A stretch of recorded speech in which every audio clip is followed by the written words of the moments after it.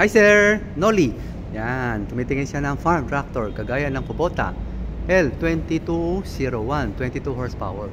Kaya lang 4x2 na lang to eh, or 2x4. Yan, malakas yan, heavy duty.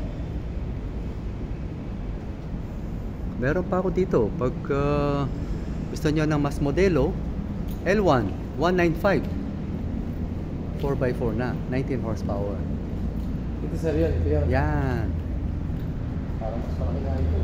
Kaya lang medyo mas mataas ang price niya. Compare mo doon sa old price, yung old model mas mababa eh. Pero marami tayo sir piyesa nito. Maraming pyesa naman po Piyesa, yan. marami tayo available na piyesa nito. Marami po yan. Magkano sir sa nagre-range? Yan, mga 300 plus lang. Nails ba yun? Oo, di ba? siyempre. Oo, siyempre. Pili lang kayo. Sana makapili kayo ha. Oo, Don't oo, forget oo. to subscribe and hit the bell button para sa mga future sa uploads pa natin. Naka-highlight naman yung number ko sa 09550916-511. Philip Tan at your service. Salamat sa pagpasyal, sir. Yan, baka meron kayong gustong patiin. Ah, binabati ko mga tauhan ko, Alfonso Builders. Yan. Hello, yan. Have a nice day. Happy watching. God bless.